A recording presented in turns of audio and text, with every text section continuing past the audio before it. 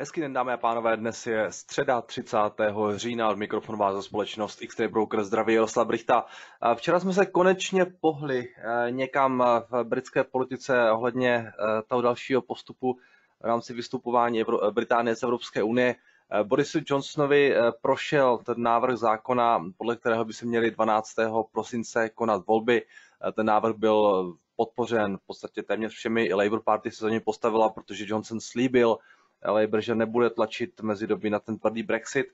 A, takže předčasné volby, teda nové volby v Británii budou, proběhnou v prosinci a v podstatě se jedná o a, takové proxy referendum a, ohledně toho, jakým způsobem má Británie v rámci a, toho dalšího vývoje postupovat, jestli prostě tlačit na to, na to vystoupení, nebo případně samozřejmě takhle existuje ještě možnost, pokud by třeba Labour vyhráli nějak výrazně, že by třeba vůbec ten Brexit nastat nemusel. Takže všechny možnosti jsou otevřené, teď to vypadá poměrně jednoznačně, prostě budeme čekat do voleb.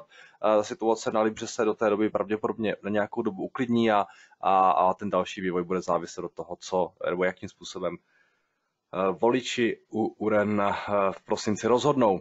Libra včera na ty zprávy reagovala naprosto v klidu, bez nějakých velkých výkyvů. Eh, znovu opakuju, prostě dokud nehrozí nějaký tvrdý Brexit, Libra může být v pohodě, potom se uvidí, jak, jak bude probíhat a, to vystupování, takže nějakých 28,60 a zůstáváme i nadále. Jinak včera ta seance byla poměrně klidná, co ještě zaujalo, tak to byly uh, komentáře vlastně americké administrativy, podle, které, podle kterých by uh, vlastně na americká, americká administrativa s Čínou nemusela podepsat, americký prezident s čínským prezidentem nemusel podepsat eh, tu obchodní dohodu eh, nutně na tom setkání v Chile, které proběhne, tuším, že příští měsíc. Eh, přičemž, ale pokud, i pokud by ne, ne, nepodepsali, tak to neznamená, že i do budoucna nepodepíšou, takže možná trošku sklidnění nebo zmírnění toho optimismu, který Trump vyvolal vlastně předevčírem nebo dva dny zpátky směrem k tomu jednání mezi Eh, mezi Amerikou a Čínou, ale ten dopad na trzích nebyl zase nějak velký. My jsme byli svědky, že v reakci na ta slova trošičku eh, ty indexy začaly korigovat večer, ale nebylo to nic úplně mimořádného.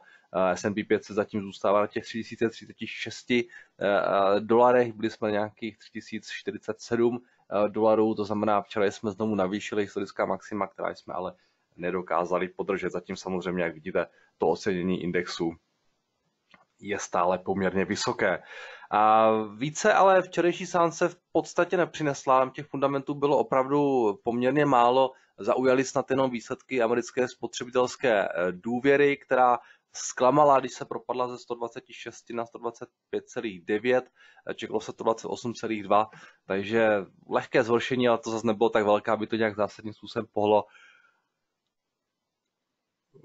s tím oceněním finančních aktiv a víceméně ty si svoji cenu podrželi. Když se podíváme na Forex, euro včera lehce rostlo, nic, nic zásadního, aktuálně nějaký 1,1110. Japonec včera minimální změna, Kanaďán mírný růst amerického dolaru na páru s kanadskou měnou, nějakých 1,3090 momentálně. Australan pokračoval v tom postupném spevňování vlastně, eh, které zahájil které zahájil eh, začátkem, začátkem tohoto týdne.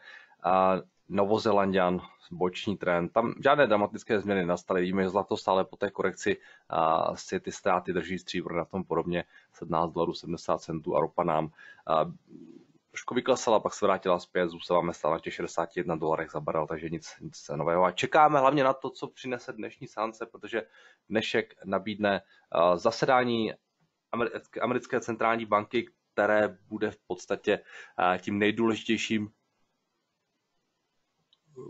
fundamentem tohoto týdne, když eh, v té druhé polovině týdne těch fundamentů je tam více, tak samozřejmě ten film bude asi nejzajímavější.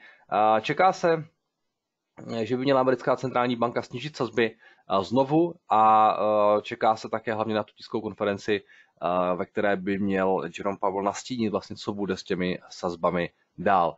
Eh, pro velký úspěch my jsme měli v minulých, eh, u těch několika minulých zasedání Fedu takový flash news eh, webinář s Lukášem Lipovským, mým kolegou z Bratislavy, no a budeme ho dělat i tentokrát, takže máte-li zájem podívat se na to live, poslechnout si naše názory na to, co se momentálně děje na trhu, co se dá čekat od americké centrální banky, ale pobavíme se v podstatě o čemkoliv nás napadne, ať už je to aktuální situace, jednání Čína, Amerika, výsledková sezona, Brexit, situace na devizovém trhu, co, co vás bude zajímat, na to se ptáte. Máte-li zájem, přihlaste se dnes na, na náš webinář, začínáme 18.15, takže nějakou tři čtvrtě hodinku před tím zasedáním Fedu.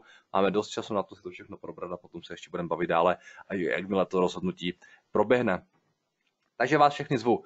Tak ale zpátky eh, k rannímu komentáři, takže ten, eh, ten to tisk, eh, ta, ta tisková konference bude asi nejzajímavější, protože to samotné rozhodnutí je velmi očekávané, velmi pravděpodobné snížení a uvidíme, jestli na té tiskové konferenci eh, Jerome Powell nastíní nějakou ochotu ty sazby snižovat i nadále. Trh si stále není úplně jistý, jestli ten další kat přijde nebo ne, přičemž přisuzuje tomu ale pořád docela vysokou pravděpodobnost, takže eh, Pavel to může na té tiskové konferenci eh, rozteknout, nebo můžu to trošičku napovědět i v tom doprovodném komentáři. Dále dneska z, z těch dalších fundamentů, které vlastně budou přicházet, Evropa toho moc nepřinese, ale v Americe eh, budou zveřejněny například eh, ADP report z pracovního trhu, eh, budou zveřejněny výsledky HDP, bude zveřejněno také rozhodování kanadské centrální banky o úrokových sazbách, takže je tam toho určitě více.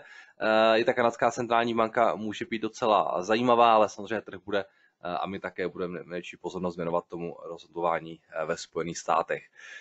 Um, Jinak pokračuje také výsledková sezóna a dnes je tam hodně jmén, přičem jsou tam i velká jména, jako například uh, namátkou General Electric tam máme, uh, vím, že tam máme Facebook, ten bude zveřejňovat v aftermarket hodinách a máme tam také Apple,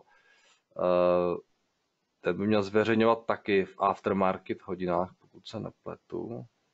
Tady dneska to je tolik, že to nejsem schopen najít. A každopádně Apple dnes bude...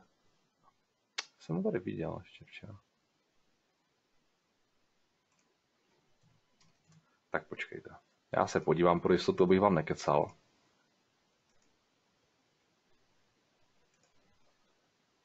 Hmm. Tak teď si nejsem úplně jistý. A každopádně Facebook dnes bude určitě zveřejňovat a General Electric také, ten se ještě musím podívat. Ale je tam, jak jste sami viděli, tam spousta, spousta společností, takže samozřejmě to bude jedna z těch věcí, která bude finanční trhy hodně zajímat. Výsledková sezona pokračuje, jsou tam velká jména, může to mít zajímavý dopad na finanční trhy. Když se podíváme na futures dnes ráno, tak ty nám lehce klesají, není to nic úplně zásadního, vidíme pár desetinek procenta v případě amerických indexů, pár setin procenta růst, pokles v případě eh, evropských, takže v tomto ohledu spíše čekáme na to, to se bude dít potom, jakmile otevře Evropa a samozřejmě potom, jakmile začnou přicházet ty důležité fundamenty ze Severní Ameriky. Tolik pro dnešek ode mě vše, dámy a pánové. Já děkuji za pozornost, sledujte nás na našich sociálních sítích, na našem webu. Přijďte dnes na dnešní webinář a já se budu opět těšit na slyšenou.